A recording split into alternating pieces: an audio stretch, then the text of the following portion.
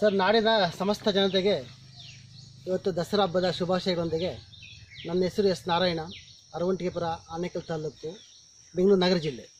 ಈ ಒಂದು ಸಣ್ಣ ಹಳ್ಳಿಯಲ್ಲಿ ನಾವೊಂದು ಕೃಷಿಕ ಕುಟುಂಬದಿಂದ ಬಂದಂಥವ್ರು. ನಮ್ದಿರೋದು ಒಂದು ಸಣ್ಣ ಎಕರೆ, ಒಂದು ಒಂದು ಎಕರೆ ಮೂರು ಗುಂಟೆ ಜಾಗದಲ್ಲಿ ನಾವೊಂದು ಸಮಗ್ರ ಕೃಷಿ ಮಾಡ್ತಾಯಿದ್ವಿ ನಾವು ಈ ಒಂದು ಎಕರೆ ಮೂರು ಗುಂಟೆ ಜಾಗದಲ್ಲಿ ಒಂದು ಐನೂರು ಶ್ರೀಗಂಧ ಹಾಕಿದ್ದೀವಿ, ಐನೂರು ರಕ್ತಚಂದನ ಹಾಕಿದ್ದೀನಿ ಐನೂರು ನುಗ್ಗೆ ಹಾಕಿದ್ದೀವಿ.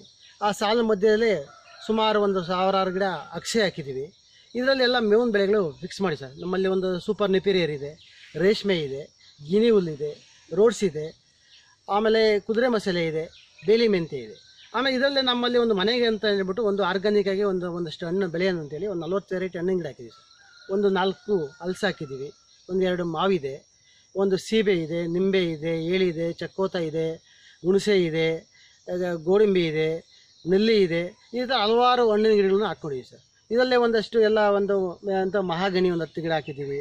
ಒಳ್ಳೆ ಬೇವು ಹತ್ತು ಹಾಕಿದ್ದೀವಿ. ನೀರು ಮತ್ತಿ ಹಾಕಿ, ಹಾಕಿದ್ದೀವಿ. ಕಾಡುಬಾದಾಮಿ ಹಾಕಿದ್ದೀವಿ. ಇದೆಲ್ಲ ಮಾ, ಕಾಡುಬಾದಾಮಿ, ಆಮೇಲೆ ಬೇವು, ಇವು, ಇವೆಲ್ಲ ನಾವೊಂದು ಇದಕ್ಕೆ ಅಂತ ಮೇವುಗಂತಾನೆ ಬೆಳ್ಕೊತೀವಿ ಸರ್.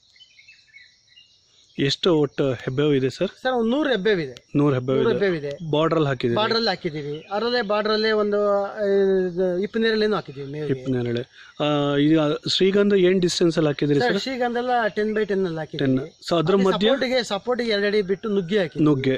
ನಾಲ್ಕು ಗಿಡ ಶ್ರೀಗಂಧ ಮಧ್ಯದಲ್ಲಿ ಓಕೆ ರಕ್ತಚಂದನ ಹಾಕಿದ್ದೀವಿ. ರಕ್ತಚಂದನ. ಓಕೆ ಸೊ ಇವೆಲ್ಲ ನೀವು ಸೂಪರ್ ನೆಪಿಯರ್ ಸೂಪರ್ ನೇಪಿಯರ್. ಮೇವಿನ ಬೆಳೆ. ಮೇವಿನ ಬೆಳೆ. ನುಗ್ಗೆ ಇದೆ. ನುಗ್ಗೆ. ಅಕ್ಷೆ ಇದೆ. ಸೊ ಇದು ಶ್ರೀಗಂಧ ಇದು. ಹೌದು ಸರ್ ಶ್ರೀಗಂಧ. ಶ್ರೀಗಂಧ. ಇದು ಬಂದು ನುಗ್ಗೆ ಸರ್. ನುಗ್ಗೆ. ನುಗ್ಗೆ ಇದೆ. ಆ ಕಡೆ ಅಕ್ಷೆ ಇದೆ. ಸೊ ಇಲ್ಲಿ ಇದನ್ನ ಯಾವುದೋ ಒಂದು ಹೆಚ್ಚು ಅಕ್ಷೆ ಜಾಗ ಗಿಡ. ಬಿಟ್ಟಿಲ್ಲ ಸರ್. Okay okay. ಇದು ಏನು ಇದಂದ್ರೆ? Sir super Napier super Napier. Okay okay. Sorghum ಜೋಳ ಇದೆ. ಓಕೆ.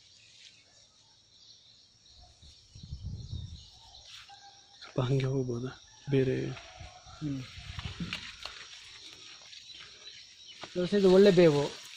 ಒಳ್ಳೆ ಒಳ್ಳೆ ಬೇವು ಒಳ್ಳೆ ಬೇವು ಬೇವು ಇದೆ. ಇದು ಬಂದು ಇಪ್ಪನೇರಳೆ ಹಿಪ್ಪನೇರಳೆ ಇದು ಬಂದು ಸುಬಾಬಲ್ ಇದೆ ನೋಡಿ ಸರ್ ಇದು ಇದು ಸುಬಾಬಲ್ಲು ಓಕೆ ಎಲ್ಲ ಬಾರ್ಡ್ರಲ್ಲಿ ಹಾಕಿದ್ದೀವಿ ಸರ್ ಹಾಕಿದ್ದೀವಿ. ಇದು ಬಂದು ರಕ್ತಚಂದನ ಸರ್ ಇದು. ರಕ್ತಚಂದನ. ರಕ್ತಚಂದನ ಇದೆ. ಆಮೇಲೆ ಇದು ಒಂದು ಮಹಾಗಣಿ ಸರ್ ಇದು. ಮಹಾಗಣಿ ಮಹಾಗನಿ ವುಡ್ಗೋಸ್ಕರ ಬೆಳೆಸ್ಕೊಬೋದು. ಓಕೆ.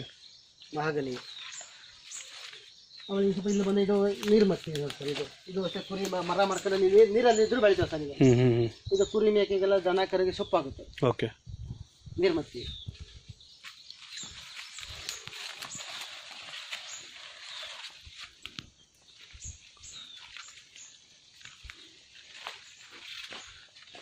ಇದು ಸರ್ ಹಲ್ಸು. ಹಲ್ಸ್ ಹಲ್ಸ್ ಹಲ್ಸು. ಓಕೆ. ಸಿದ್ದು ಸಿದ್ದು ಹಲ್ಸು. ಸಿದ್ದು ಹಲ್ಸು. ಓಕೆ. ಇದು ಬಂದು ಕಟ್ಟಿಗೆ ಆಗಿದೆ ಸರ್ ಇದು ರೋಡ್ಸ್ ಒಂದು ಓಕೆ. ರೋಡ್ಸ್ ಇದೆ ಇನ್ನು ಆ ಕಡೆ ಬಂದು ಸೋರ್ಗಮ್ ಜೋಳ ಇದೆ. ಆ ಕಡೆ. ಓಕೆ.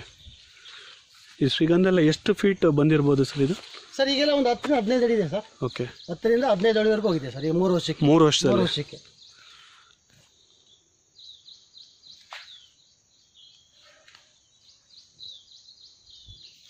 ಓಕೆ. ಈಗ ಟೋಟಲಿ ಸರ್ ಒಂದು ಎಕರೆಯಲ್ಲಿ ನೀವು ಈಗ ಕಾನ್ಸೆಪ್ಟ್ ಮಾಡ್ತಾ ಇರೋದು ಟೋಟಲಿ ಸಮಗ್ರ ಆಗಿ ಫಾರೆಸ್ಟ್ ಪ್ಲಾಂಟ್ಸ್ ಮಾಡ್ತಾ ಇರೋದು. ಇದ್ರ ಜೊತೆಗೆ ಮೇಕೆ ಕುರಿಗೋಸ್ಕರನೂ ಮಾಡ್ತಾ ಇದ್ದಾರೆ. ಕುರಿ ಮೇಕೆ ಸಾಕ್ತಾ ಇದ್ದೀವಿ. ಓಕೆ. ಒಂದು ಇನ್ನೂರು ನಾಟಿ ಕೋಳಿ ಸಾಕ್ತಾ ಇದೀವಿ ಓಕೆ. ಒಂದು ಮನೇಲಿ ಒಂದು ನಾಲ್ಕು ಹಸು ಇದೆ. ಓಕೆ.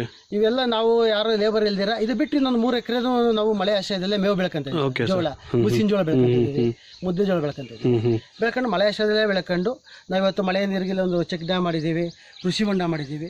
ಇದೇ ನೀರು ಉಪಯೋಗಿಸ್ಕೊಂಡು ಇವೆಷ್ಟೆಲ್ಲ ಬೆಳೆ ಮಾಡ್ತಾ ಸೊ ಇಲ್ಲಿ ಒಂದು ಇಂಚು ಭೂಮಿ ಕೂಡ ನೀವು ಯಾವುದು ಖಾಲಿ ಬಿಟ್ಟಿಲ್ಲ ಸರ್. ಖಾಲಿ ಬಿಟ್ಟಿಲ್ಲ. ಖಾಲಿ ಬಿಟ್ಟಿಲ್ಲ. ಒಂದು ಇಂಚಲ್ಲೂ ಆ ಹುಲ್ಲು ಹುಲ್ಲು ಬೆಳೆಸ್ತಾ ಇದ್ದೀವಿ. Correct. ಆ ಹುಲ್ಲು ಬೆಳೆಸೋದ್ರಿಂದ ನಮಗೆ ಭೂಮಿ ಯಾವುದು ಆ, ಸವಕಳಿ ಆಗಲ್ಲ. ಓಕೆ ಇಷ್ಟೇ ಮಳೆ ಬರೋ ಸವಕಳಿ ಆಗಲ್ಲ. Okay. ಆಮೇಲೆ ನಮ್ಮಲ್ಲೆಲ್ಲ ಈ ಬದು ನಿರ್ಮಾಣ ಮಾಡಿ ನಮ್ಮಲ್ಲೆಲ್ಲ ಭೂಮಿಗೆ ನಾವು ನೀರಿಂಗಿಸ್ತಾ ಇದ್ದೀವಿ. ಓಕೆ ಟ್ರೆಂಚ್ ಮಾಡಿಸಿದ್ದೀವಿ. ಓಕೆ ಸರ್ ಆದರೆ ಮಳೆ ನೀರನ್ನ ನಾವು ಸೇವ್ ಮಾಡ್ಕೊಂಡು ಯಾವ ರೀತಿ ಜೀವನ ಮಾಡ್ಬೋದು ಅಂತೇಳಿ ನಾವೀಗ ಒಂದು ಕಾನ್ಸೆಪ್ಟಲ್ಲಿ ಮಾಡ್ತಾ ಇದ್ದೀವಿ. Okay okay sir